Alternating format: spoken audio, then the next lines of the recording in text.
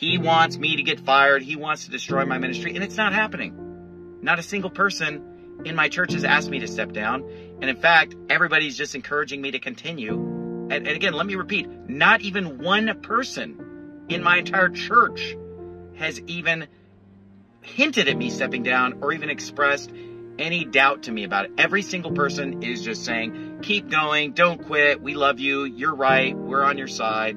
You know, that's what's going. So he's not getting what he wants, so he just keeps upping the ante. So his stories are just getting more outrageous and wilder and wilder. But you know what? God is my witness. I didn't do anything wrong. I've been a great husband and a great father.